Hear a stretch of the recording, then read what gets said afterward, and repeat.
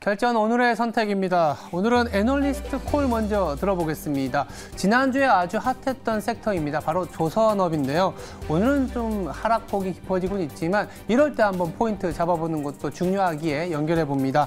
이동현 대신증권 조선 애널리스트 연결합니다. 안녕하세요.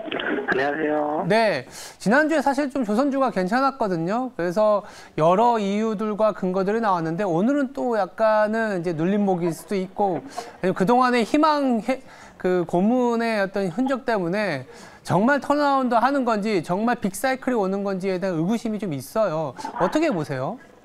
아, 네. 먼저 환경 규제나 교체 수요 같이 중장기로 좋아지는 근거들이 있기 때문에 큰 그림에서 이 전망들이 좋아지는 건 맞습니다. 네. 어, 단, 단기적으로 보면은 우크라이나 전쟁이나 인플레이션, reopening 기대 등이 반영이 되면서 개선 속도가 조금 빨라진 모양이고요. 원래 2022년 올해 연간 전망으로는 어, 컨테이너선의 발주가 피크아웃을 하는 상황에서 탱커선의 느린 시황 개선 그리고 LNG선의 호조가 지속될 것으로 봤는데 현재는 컨테이너 발주가 어, 사이클이 끝나지 않은 상황에서 LNG선은 초강세를 보이고 있고 탱커선의 시황 개선은 기대도 빨라지고 있는 상황입니다. 음. 어, 이런 흐름들이 주가에 반영되면서 변동성이 커졌고 이 상반기를 지나면서는 조선사들이 원가 상승에 따른 실적 부진이 있을 거고요. 러시아 수주 잔고가 일부가 있기 때문에 어, 또 기간 조정을 거칠 수는 있는데 이게 하반기 내년 가면서는 중장기 관점에서 여전히 계속 좋아진다 이렇게 보고 있습니다. 모든 선복에서 다 좋아지는 상황이기 때문에 이렇게 눌릴 때 오히려 사야 된다는 시각을 갖고 계신 거죠? 네, 다만 그 변동성이 음. 최근에 이런 근거들, 어, 전쟁이나 인플레이션, reopening 등이 이 조선주는 뭐 환율도 마찬가지고요. 강제가나 이런 부분들이 반영되는 변동성이 워낙 크기 때문에 뭐 지난주 같이 한 주간 10, 몇, 어, 5%뭐 이렇게 오르는 경우들이 나오는데 이 변동성은 사실 트레이닝 관점에서 접근을 해야 되고 중장기 관점에서는 어, 장기 시계열로 봤을 때는 앞으로 계속 좋아진다 이렇게 볼 수 있을 것 같습니다. 알겠습니다. 오랜만에 이제 조선주가 돌아오는 모양인데 조금 더 저희가 컨빅션 있게 여기 들어보려고 어, 전화 연결을 부탁드렸습니다. 감사합니다. 감사합니다. 네. 네, 다시 한번 오늘의 선택 시간을 이어가 보도록 하겠습니다.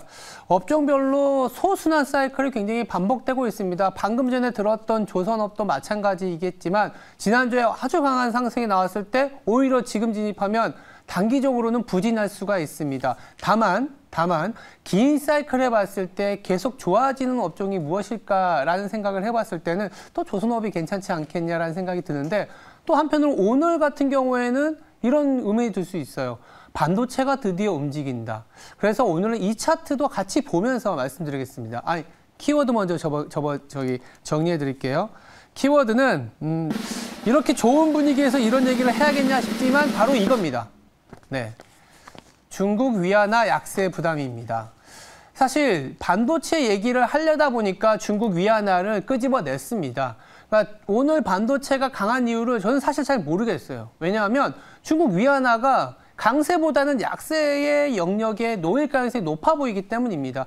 지준율을 내리면서 경기 부양을 시키겠지만 당장은 당장은 긴축 부담이 있기 때문에 위안화가 강하게 강세로 갈 가능성이 저는 제한적으로 보고 있는 상황이어서 원화까지도 지금은 상승, 즉 약해지고 있는 상황입니다. 오히려 반도체가 움직이면서 여타 좀 부진해지는 reopening이라든지 조선업 아니면 정책이 있는 건설업 이런 업종들을 오히려 좀 봐야 되는 시점이 아니겠느냐라는 생각에서 중국 위안화가 약세로 가는 포인트에서 삼성전자와 하이닉스가 아직은 바닥을 잡기에는 조금은 시기가 이른 거 아닌가라는 생각에서 말씀을 드렸고요. 그래서 당장 외국인에 대한 기대도 조금은 시간이 필요합니다. 5월, 6월 연준의 금리 인상 이후에 실제 물가가 잡히는지를 확인하면 그때부터 저는 아니면 시장에선 아마 반도체 중심으로 지수가 상승하는 것을 보지 않을까라는 생각이 들고 있기 때문에 지금부터 한 달 동안에는 오늘 말씀드렸던 화장품이라든지 그리고 정책 관련 뭐 우원 개발 같은 것도 말씀드렸잖아요. 그런 종목에 더 집중을 하는 게 낫지 않겠냐는 생각에서 이렇게 키워드 오늘의 선택을 해봤습니다. 남은 시간 성투하시고요. 저는 내일 오후 1시에 다시 찾아뵙겠습니다. 감사합니다.